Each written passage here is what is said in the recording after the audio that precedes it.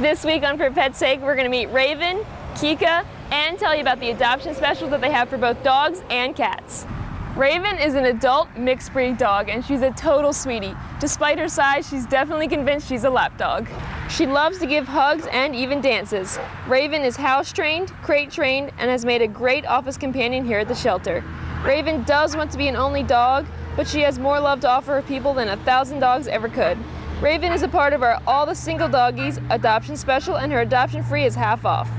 Kika is a staff favorite here at the Animal Welfare League. She's an adult brown tabby with enchanting hazel eyes and a heart of gold. She gets along with everyone and loves to be a part of whatever her favorite human is doing.